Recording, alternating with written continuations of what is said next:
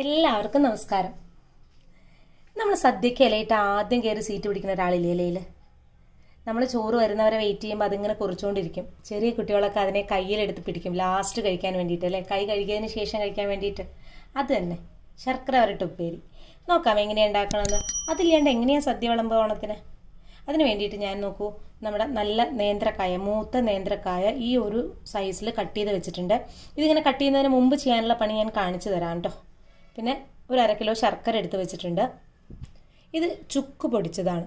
ചുക്കറിയില്ലേ? Dry ginger അത് നന്നായി പൊടിച്ച് വെച്ചിട്ടുണ്ട്. ഇത് നമ്മുടെ സാധാ ജീരകം. അതിനെ പൊടിച്ച് വെച്ചിട്ടുണ്ട്. ഇത് പഞ്ചസാര പൊടിച്ച് വെച്ചതാണ്. ഈ കായ വറുത്തെടുക്കാൻ വേണ്ടിയിട്ട് നമുക്ക് എണ്ണ ആവശ്യമുണ്ട്. അത് മറക്കല്ലേ? ഈ കായ ഈ പരുവത്തിലാവുന്നതിന് മുമ്പ് ചെയ്ത കാര്യം ഞാൻ ഇപ്പം കാണിച്ചു തരാം. പിന്നെ ഒരു കാര്യം വീഡിയോ മുഴുവനായി കാണണേ. മറക്കല്ലേ അത്? നമ്മൾ നേന്ത്രക്കായ ഇങ്ങനെ എടുത്തതിന് ശേഷം കണ്ടോ? ഇതിന്റെ വാലും തലയൊക്കെ കളയുക. അതിനുശേഷം കത്തി വെച്ചിട്ട് ഈ ഒരു പോർഷനില്ലേ ഇവിടെ ഇങ്ങനെ നൈസായിട്ട് ഉള്ളിലേക്ക് തട്ടാണ്ട് നൈസായിട്ട് ഇങ്ങനെ ചിവി കൊടുക്കുക കത്തി നോക്കിയിട്ട് ചെയ്യണം പാളരുത്. അതിനുശേഷം ഈ തോൽ. നല്ല മൂത്ത കായാണെങ്കിൽ അതുപോലെ സുഖമായിട്ട് ഇങ്ങനെ പൊളിഞ്ഞു വരും. ഇങ്ങനെ ഇത് മുഴുവനായിട്ട് നമ്മൾ എടുത്ത് കളയുക ഓക്കെ നോക്കൂ ഇങ്ങനെ കായയുടെ ഈ ഭാഗം മാത്രമായിട്ട് എടുക്കുക എന്നിട്ട് ഈ കായ നമ്മൾ എന്ത് ചെയ്യണം എന്നറിയോ?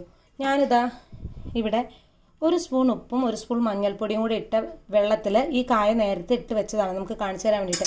ഒരു പത്ത് പതിനഞ്ച് മിനിറ്റ് ഇട്ട് വെച്ച് കഴിഞ്ഞാൽ നോക്കൂ കൈ കൊണ്ട് തന്നെ ഇങ്ങനെ തിരുമ്പി കഴിഞ്ഞാൽ ഇതിന്റെ മുകളിലുള്ള ഈ എക്സ്ട്രാ തോലിന്റെ പോഷനോ കറ കായയുടെ കറ പോകാനാണ് നമ്മൾ മഞ്ഞൾപ്പൊടി ഇട്ട് വെക്കുന്നത് അല്ലേ? അപ്പോൾ ഇത് നന്നായിട്ട് കൈ കൊണ്ട് തന്നെ തിരുമ്പി കളഞ്ഞ് ഇതിൽ കഴുകിയെടുക്കുക. നമുക്ക് ഈ കായ ഒരു പത്ത് മിനിറ്റ് ഇതിൽ ഇട്ട് വയ്ക്കാം അതിന് ശേഷമാണ് നമ്മൾ കായ ആ ഒരു സൈസിൽ കട്ട് ചെയ്തെടുക്കുന്നത്. ഞാനിത് അവിടെ എണ്ണ ചൂടാവാൻ വെച്ചിട്ടുണ്ട് കായ വറുത്തെടുക്കാൻ വേണ്ടിയിട്ട്. ഈ സമയത്തേക്ക് നമുക്ക് ശർക്കര ഞാനിവിടെ പാവാൻ വെച്ചിട്ടുണ്ട്. അതിലേക്ക് ഒരു അര ഗ്ലാസ് വെള്ളം കൂടെ ഒഴിച്ചു കൊടുക്കുന്നുണ്ട്. ഇതൊന്ന് പാവാവട്ടെ. ശർക്കര അലിഞ്ഞ് പാവാവട്ടെ. ഇത് നടക്കുമ്പോഴേക്കും അതും കൂടെ അതിന്റെ കൂടെ നടക്കും. ഇത് എണ്ണ നന്നായി കാഞ്ഞിട്ടുണ്ട്. ഇതിലേക്ക് നമുക്ക് ഞാൻ രണ്ട് തവണയായിട്ടാണ് ഇത് വറുത്തെടുക്കുന്നത്. പിന്നെ ഒരു കാര്യം പ്രത്യേകം ഓർമ്മ വേണം. ഈ കായ നന്നായിട്ട് തുടയ്ക്കണം കേട്ടോ. വല്ല ടിഷ്യൂലോ അല്ലെങ്കിൽ തുണിയിൽ തന്നെ ഇട്ടിട്ട് നന്നായി തുടച്ച് വെള്ളം മുഴുവനായി കളയണേ.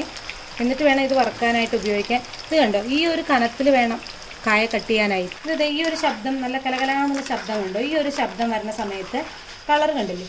ഈ ഒരു കളർ ആവുന്ന സമയത്ത് നമുക്ക് ഇതിനെ വറുത്ത് കോരിയിട്ട് ഒരു ടിഷ്യൂ പേപ്പറിലേക്ക് മാറ്റി വെക്കാം. കാരണം എണ്ണ നല്ലോണം പോണം ശർക്കര പാവിൽ ഇടുന്നതിന് മുമ്പായിട്ട്. ഞാൻ ബാക്കിയുള്ള വാഴക്കയും കൂടി അത് കഷ്ണം കൂടെ എണ്ണയിൽ വറുക്കാൻ ഇട്ടിട്ടുണ്ട്. നമുക്കിവിടെ നമ്മുടെ ശർക്കര മുഴുവനായിട്ട് അലിഞ്ഞിട്ടുണ്ട്. ഇതിനെ നമുക്ക് അരിച്ച് ഒരു പാത്രത്തിലേക്ക് മാറ്റാം അതായത് ഏതിലാണോ ഇനിയിപ്പോൾ ശർക്കര പേര് ഉണ്ടാക്കാൻ നമ്മൾ പോകുന്നത് ആ പാത്രത്തിലേക്ക് ഇതിനെ നമുക്ക് അരിച്ച് മാറ്റി വെക്കാം. ഓക്കെ? ശർക്കരയെല്ലാം നന്നായി അലിഞ്ഞിട്ടുണ്ട്. പാവായിട്ടില്ല കേട്ടോ. ഞാൻ നേരത്തെ അരിച്ച് മാറ്റി വെച്ച ശർക്കര പാവിനെതേ ഒരു വലിയ പാത്രത്തിലേക്ക് എപ്പോഴും ഇങ്ങനെ പരന്ന ഒരു പാത്രത്തിൽ വേണം നമ്മൾ ശർക്കര ഉപ്പേരി ഉണ്ടാക്കാൻ വേണ്ടിയിട്ട്.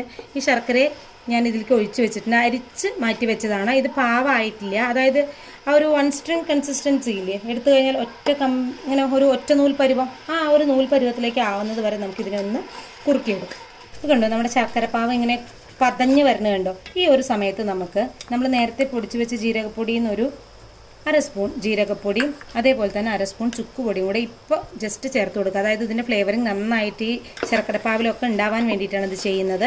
ബാക്കി പൊടി നമുക്ക് പിന്നെ ചേർത്ത് കൊടുക്കുക ആഹാ ശർക്കരപ്പാവിൽ ആ പൊടി വീണപ്പല്ലേ അത് നല്ല മണമാണ് കേട്ടോ. ഇതേ നമ്മുടെ ശർക്കരപ്പാവ് നന്നായി കുറുകിയിട്ടുണ്ട്.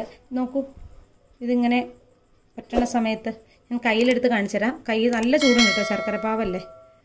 ഇങ്ങനെ ആക്കി കഴിഞ്ഞാൽ കണ്ടോ നൂൽ ഒറ്റ നൂൽ പരുവ. ഈ ഒരു പരുവാവുന്ന സമയത്ത് നമ്മൾ ഇത് പെ സിമ്മിലേക്ക് തിരി ഒന്ന് കുറച്ചതിന് ശേഷം നമ്മൾ നേരത്തെ എടുത്ത് വെച്ച കായ ഉണ്ടല്ലോ വറുത്ത് കോരി മാറ്റി വെച്ച കായ ഇതിലേക്ക് ഇട്ട് ഇളക്കിക്കൊണ്ടിരിക്കുക.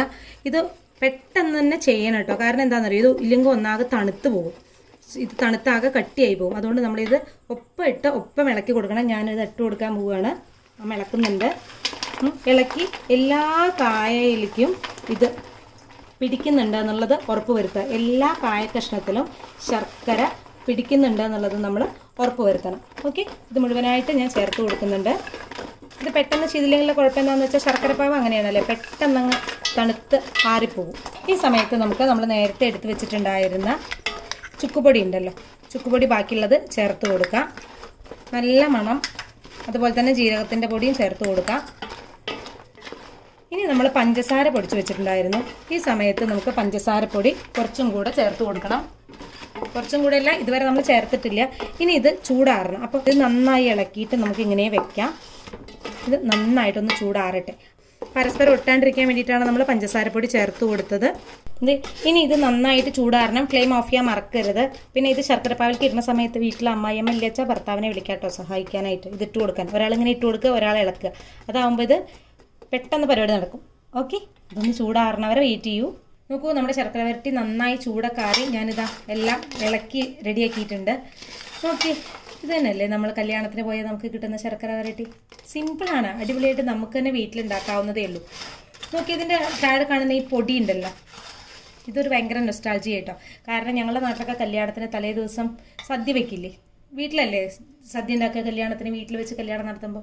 അപ്പോൾ ഈ ശർക്കര വരട്ടി ഉണ്ടാക്കിയിട്ടുള്ള ഈ പൊടി കുട്ടികൾക്ക് തലേ ദിവസം കല്യാണം അന്വേഷിക്കാൻ നമ്മൾ വീടുകളിൽ പോയി കഴിഞ്ഞാൽ ഇതാ ഈ പൊടി കിട്ടും വൈകുന്നേരം. നല്ല ടേസ്റ്റാണ് കാരണം ഇതിന് ചുക്കിന്റെയും ജീരകത്തിന്റെയൊക്കെ ആ ഒരു മണവും ശർക്കരയുടെ മധുരവും എല്ലാം കൂടെ ആയിട്ട് ഞാൻ ഇതിനെ ഒരു സെർവിങ് ബൗളിലേക്ക് മാറ്റട്ടെ.